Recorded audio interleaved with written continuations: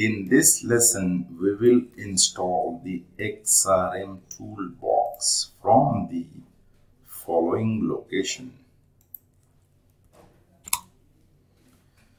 So first, the prerequisite, which we have already done. Now you can download the latest version. This is the, okay. Download the latest version.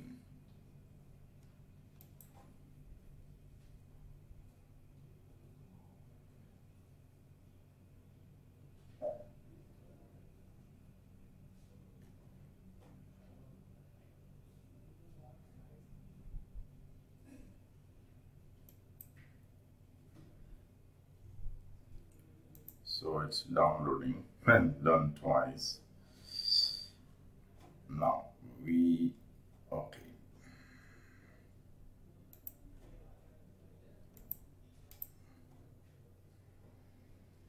Extract it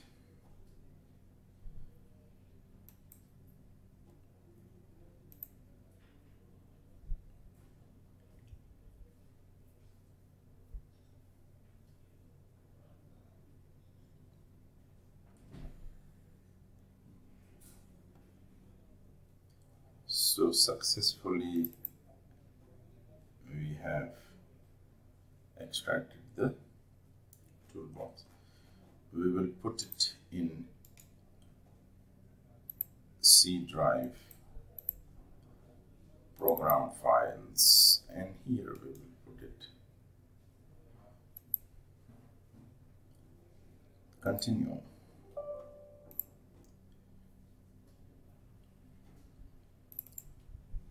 and then we will run this.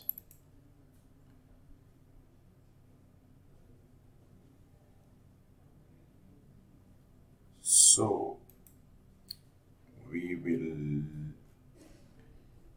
we can move it download. We will run it from the original location and let's see what it gives So downloads is a location which has the secured rights. So we will not move, rather we will run it from the XRM toolbox folder itself. So this is about installing the XRM toolbox.